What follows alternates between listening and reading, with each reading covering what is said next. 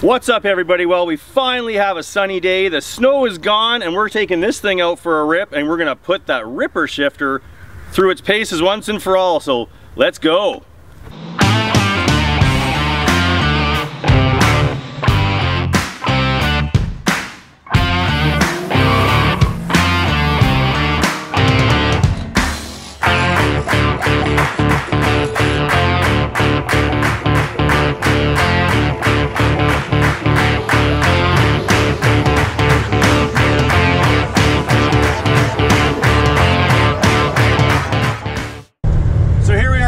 So far, so good. Everything feels really nice and positive. Little downshift up here for a stop sign.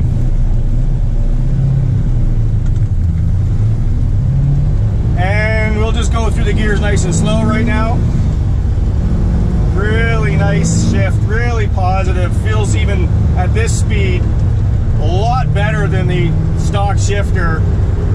Um, we'll go into fifth gear here, no problem. Sixth gear, lugs it down, but it doesn't mind it.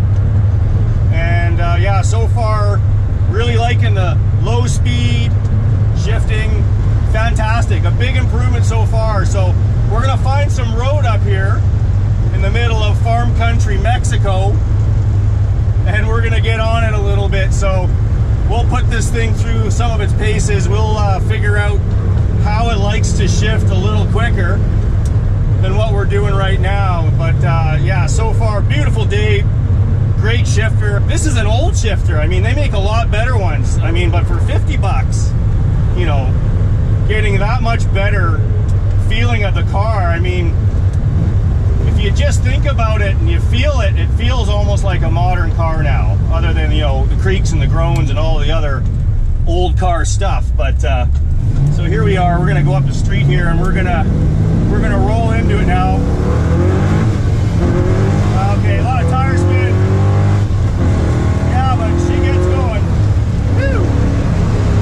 Yeah, that's pretty good. That was, you know, taking it easy on the shifts a little bit still. Just a little faster than before. And uh, keep an eye on the road because this thing has no traction. This thing is absolutely a burnout machine. I mean, it's cold out. It's still probably 10 degrees, 15, 12 degrees Celsius today in the sun, which is a pretty warm for January, but yeah, it's not it's not a good car for, for traction. We'll, we'll try to fix that. I mean, there's some things I got lying around that'll make that a little better, hopefully. So uh, what we'll do now is we'll go down into uh, second gear and then we'll uh, we'll see what a little power shift looks like here into third. Two three upshift.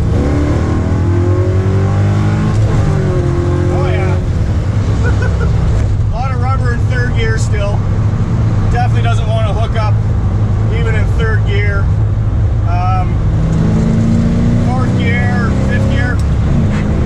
I mean, who power shifts fourth to fifth? But hey, why not? Give it a shot. Down into fourth, down into third. This shifter is crazy. Second gear. Second to third. Yeah, still spinning. Um, but yeah, otherwise, I mean, I'm happy with the performance. It suits my driving style anyways, which seems every time I get in this car, I get a little bit, little bit juvenile, let's say, in my driving style, but that's what it's built for. So uh, we'll try another little burst up here, and we'll roll through uh, one to two real hard, and then we'll see if we can keep the old Sumitomo's on the back spinning in through third gear.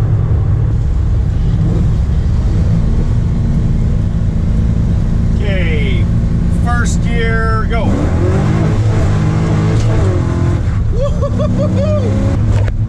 Yep, third gear, she'll keep going. I had to let off.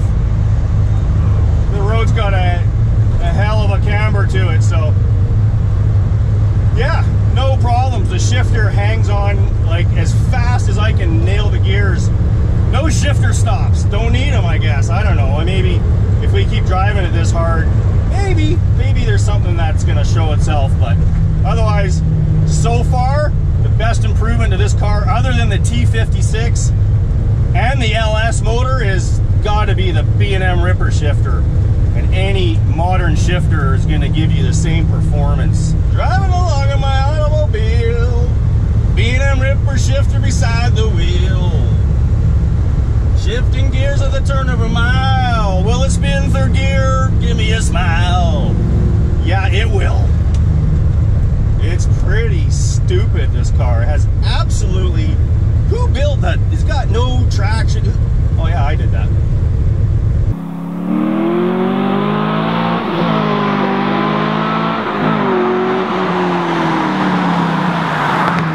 So I'm going to turn around.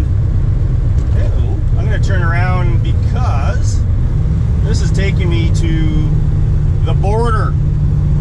The Mexican United States Canadian border. Anyway, just take me to the border.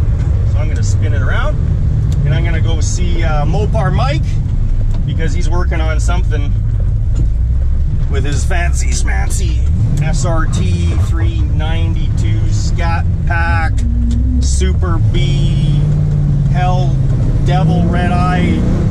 I don't know what it is, but it's pretty damn cool.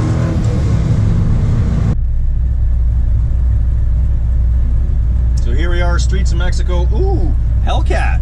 Nice car. I wonder if he wants to play. No, maybe not. All right, Hellcat doesn't doesn't want to play because Hellcat would destroy this thing. That's exactly what would happen. But maybe, maybe he's got no traction like me. Maybe he just sit there and go through eight or ten or whatever how many gears that thing has, assuming it's an automatic. But uh, yeah, he's out for a cruise. A lot of nice cars out for a cruise here in Mexico. It's unbelievable. Never thought that many people would come down to Mexico. So, okay, what we're to do is we're to do a little pass. We're to roll into it nice and hard.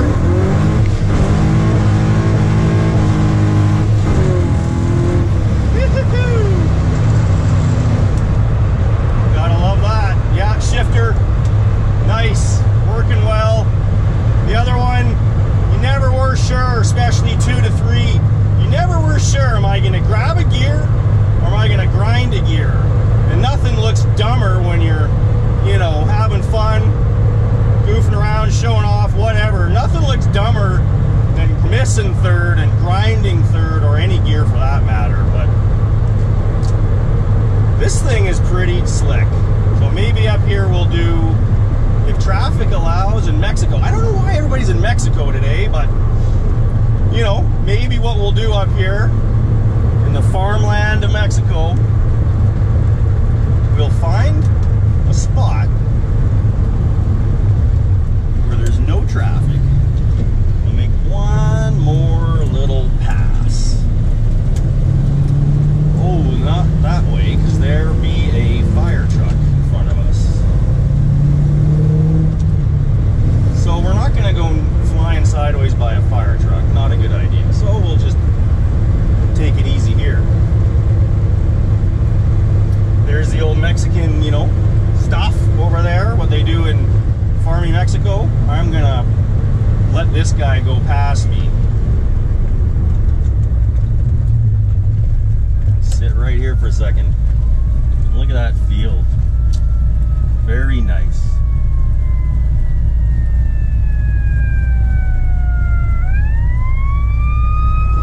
All right.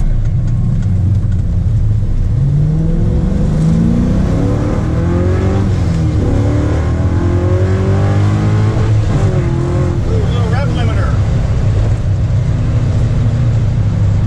Little rev limiter, but that's what happens when you're not staring at the tach and you're staring at the fire truck in your rearview mirror. Don't do that, by the way.